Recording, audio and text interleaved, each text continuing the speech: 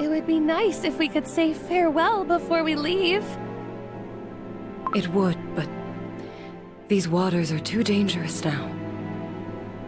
We have no time. Check on the injured cookies and prepare to leave. Yes. I suppose our beautiful kingdom now will live on forever inside of you. As long as your Sea of Darkness remains.